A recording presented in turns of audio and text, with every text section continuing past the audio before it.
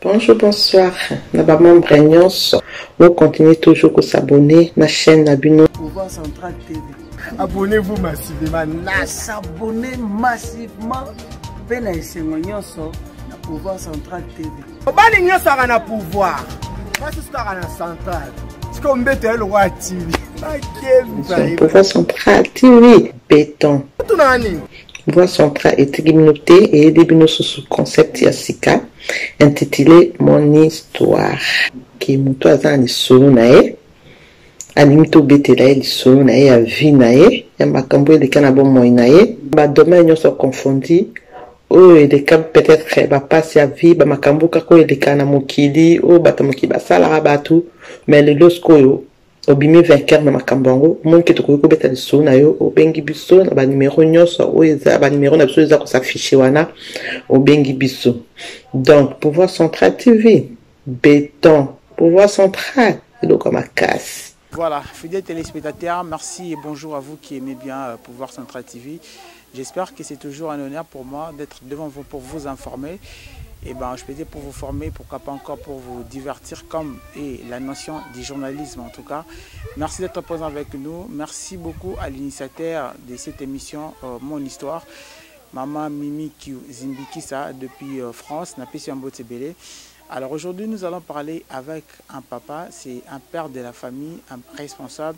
mais vu au temps vu au circonstance vu à des choses qui se passe dans notre pays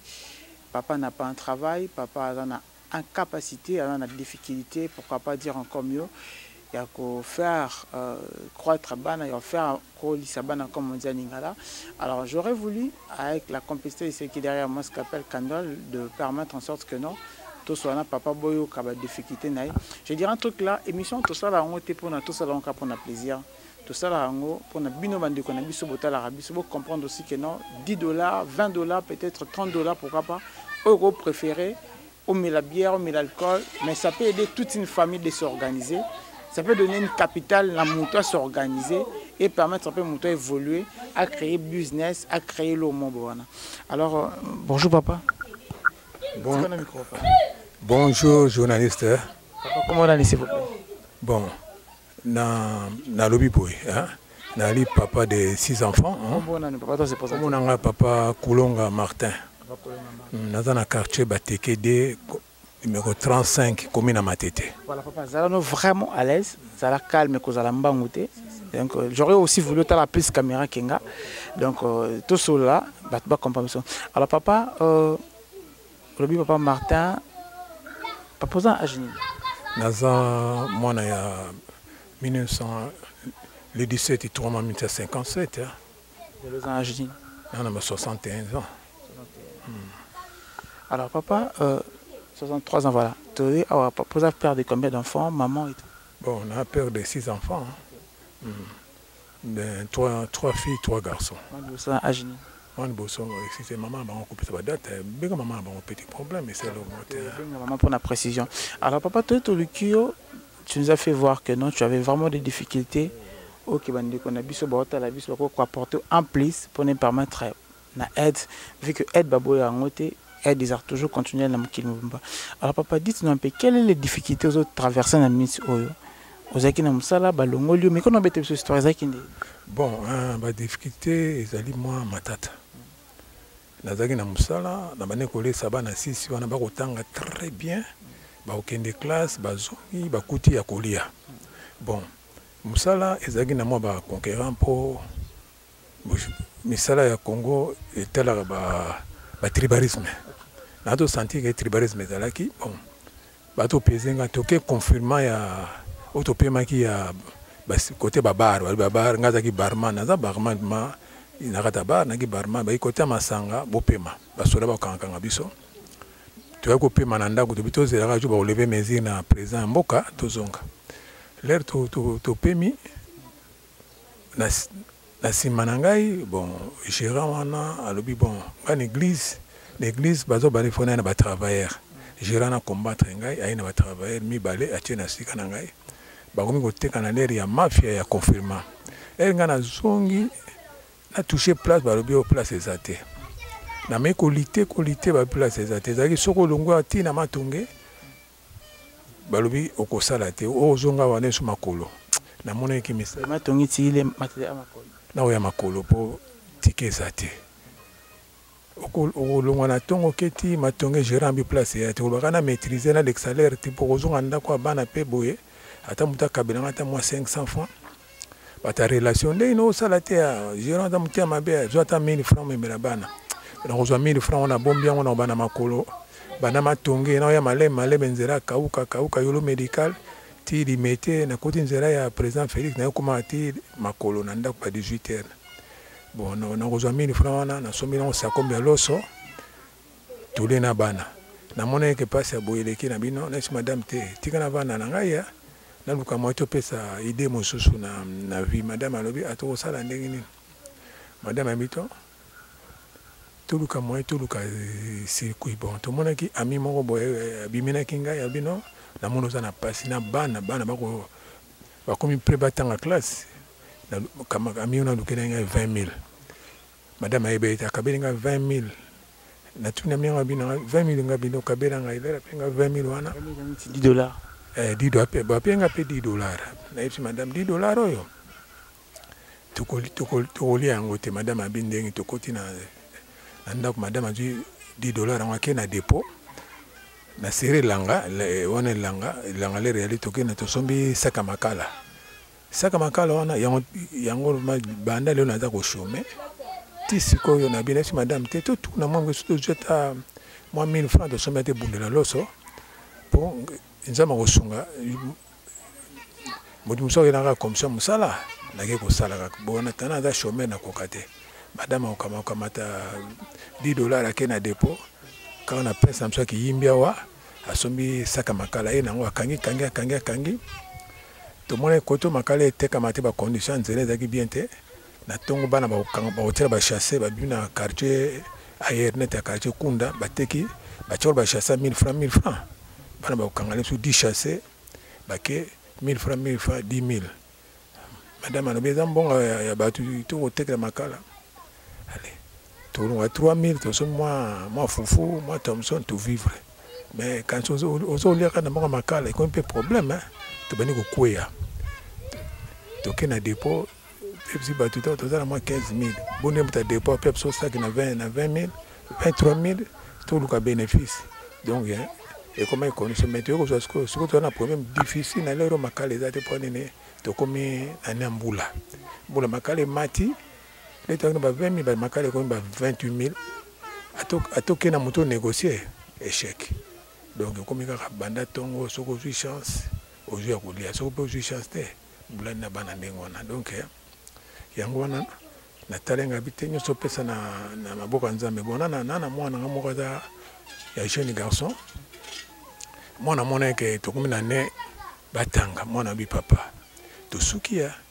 ndenge nga binaza na eloko moko te. Mwana bi papa nga na kota 6e. Ngai mpe mwana 6e eza problème hein. Ba mbongo ba mbongo ebele ebele mwana abi papa nzambe akosala mwana ngo na eglise asambe na eglise ya neema sikatenda neema kuna abimisa ye apesa bapesa ye paroisse na na mati na quartier nunga abima lelo mosakoli mais aza adjoint a titulaire te mais ba, ba titulaire bayali mwana ngo abima mosakoli mwana ngo mpe soki adjoint aza te ye mpe akamaka eglise mwana mwana koti mwana koti na ndako Mwana bi papa nga bi mwana nga ata uniforme kai mwana okoka te mwana bi papa il faut to senga jour mwana kende na église na vandi ka boye pesa nga soni na ki mwana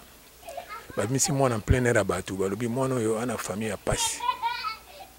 benga na église na koti mai mais na supporter ba lobi non mwana za na famille ya pasi abisi so ba église ba vandi plein Babi bo soutenir ye na uniforme na cahier na bic but oyo ya Monica ako soutenir mwana oyo tata naye aza na difficulte abima bolingi bomona tata naye tomona tata naye batelemisaki ngai na eglise natelemi na se presenter maman naye pe atelemi batuni ngai non naza na difficulte batelemisi mwana batelemisi mwana bato ya motema ya bien mosusu abinga ndimi na shakosi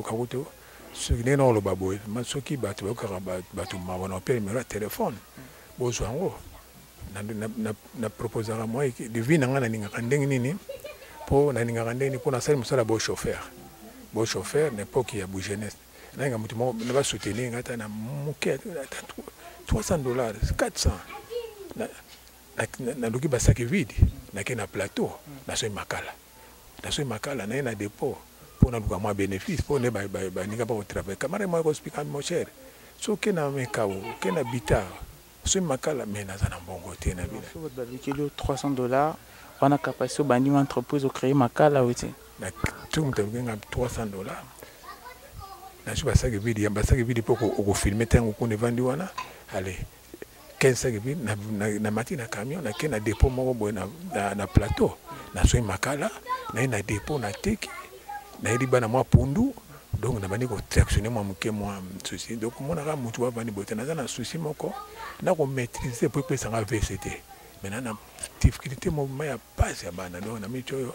bana tu bakotanga te kaka mwana oyo kaka moko oyo aza mosakoli ya eglise ya sikatenda ye moto akende kosenga lisungi ya pasi neti mandia me ngai namonaki yango soni mama na bango alobi me soni ndenge nini lelo mwana yango ake classe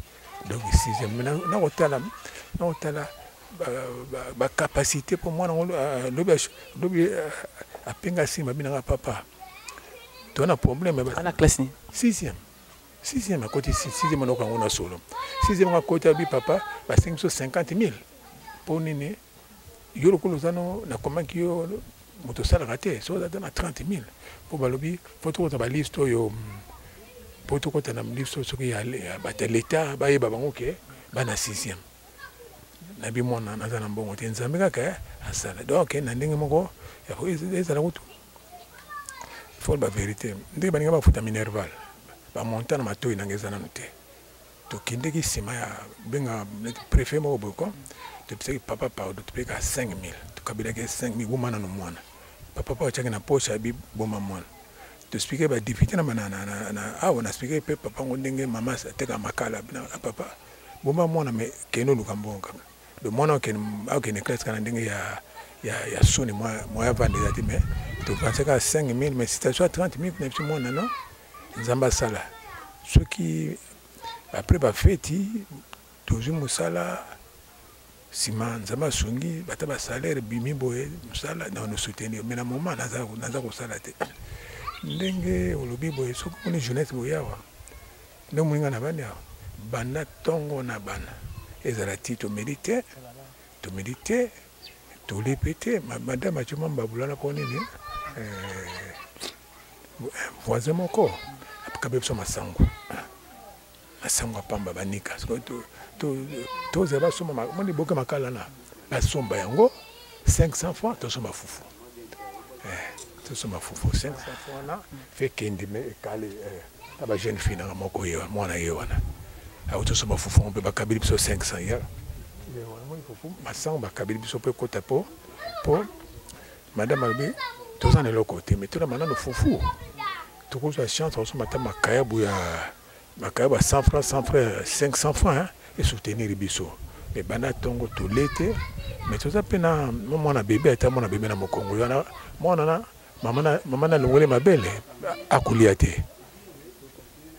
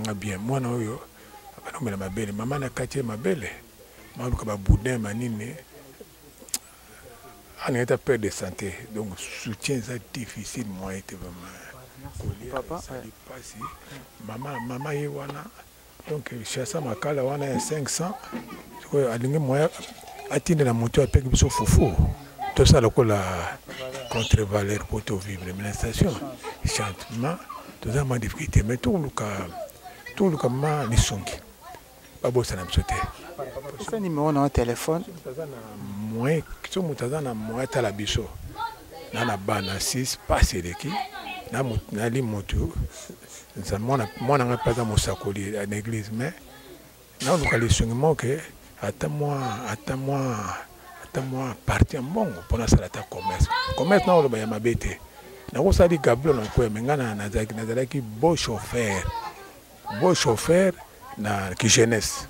Mais ce qu'on a mona ba camions za oya na kiyimbi, mona kiyimbi depuis moi za na na koma neti zoba. Na ke na tongo na bando sola ba jeunes wana. Bo kende ngende ngini na mon cher avec 300 dollars. To kende na yo, to conduire to kende na plateau, to sombo so makala obimi. Ba jeunes ba former ngai. Mais mbongo ezate. Na mona ka neti na sala neti kaka ya lisum neti ya ya esi na un jour nakozwa yango comprendre eh? nazali biso nalamuki na ntongo nazala jour mosusu nalamuki na ntongo naketi na coin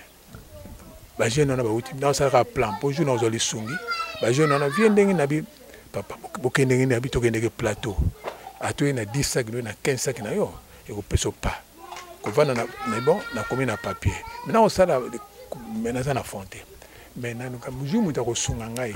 nzambe mpe apambola ata zwa ata fond ata ya so na bi mingi 300 dollars 400 dollars 300 dollars lelo eza nini nakokende plateau nasoi makala na ye nakovivre na bana mwa bien nzambe merci beaucoup papa j'espère que l'histoire était vraiment bien bino bocomprendre bomoni histoire ndenge papa alobi papa alobi keno aza na bacapacité meme ya kolesa bana omoma toza déjà 16 heures Mais depuis tongo papa nanu alie te na bana en tout cas ça fait vraiment très mal. J'ai dit au début que non tosalaka ba emission non pona biso tosala yango pona bino tozo landa biso pourquoi pas aussi apporter l'aide papa bosala quelque chose bo aider papa na quelque chose euh, na mbongo na fond ya démarrage abanda commerce ndenge euh, azoloba wana papa alors pesa numéro na yo ya téléphone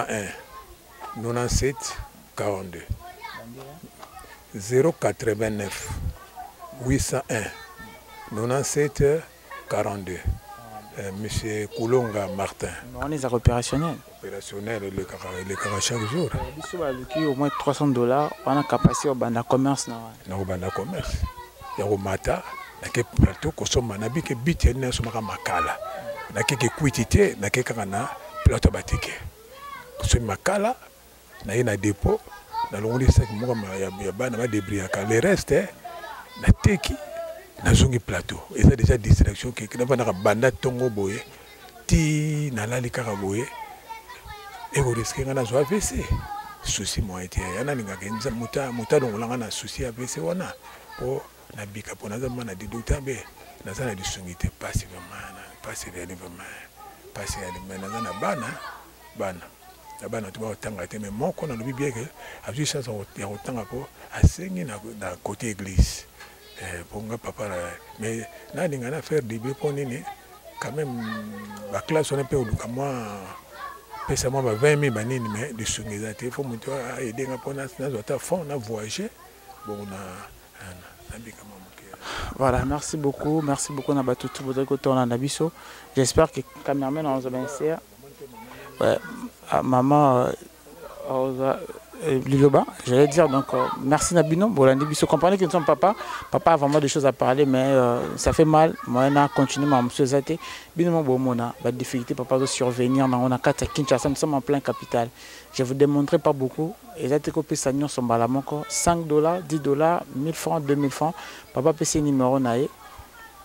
Ata un dollar c'est aussi important et permettre papa abandela musala a aider bandeko na biso moni baleki na biso baza awa j'espère que bomona ba vidéo bokozwa bainsiare na bango ndeni bazovivre na bacondition vraiment euh, nefaste en fait ce qu'appelle aider biso ozwa bainsiare kuna bamona toyeba ndeni tosala merci beaucoup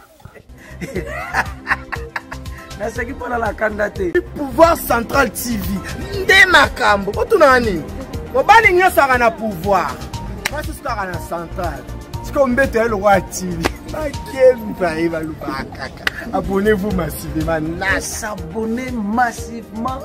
mpe na esengo nyonso na pouvoir central tv pouvoir central tv